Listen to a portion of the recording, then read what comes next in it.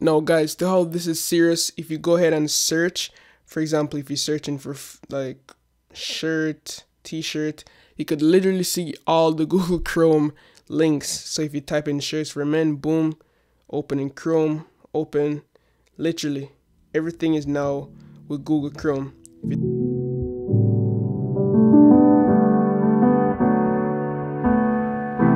What's going on guys? It's currently 4.05 a.m. right now. So this video is for my grinders. But basically in this video I just want to quickly update you guys and let you know that we can now finally add a default browser on our iOS device. Now this is one of the features that was like really applauded by everyone when WWDC happened and everything. But it was like said that it would come at a later date. Now if you go into the App Store and you update to the latest Google Chrome. Now I've tried this with other browsers. I've tried it with Microsoft Edge, I've tried it with Brave, Firefox, it doesn't work.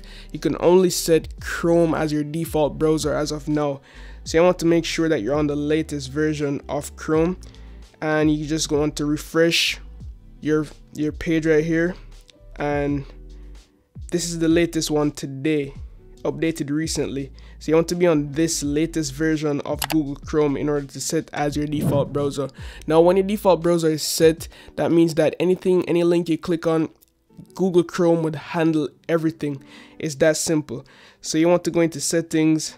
For example, okay, so say for example, I want to open this link right here. You see it ask me, what do I want? Do I want to use Google Chrome or Safari? I normally just choose Google Chrome every time which kind of gets annoying and sometimes you click links within certain applications then it opens it opens in Safari. But with this new update you could literally open any link and it will just jump to Google Chrome itself. So you want to jump into your settings scroll all the way down until you find Google Chrome. Yes so it's right here. Then you will see default browser app switch that to Google Chrome. So if we go back into mail you want to make sure that this is turned off. Ask me which app to use every time. Turn that off. Open in Chrome. So from now on, any application you use, any links you click, it will directly open in Google Chrome. Let's try this. As you can see, now everything will literally open in Google Chrome. And if that's something you were excited about, it's now here.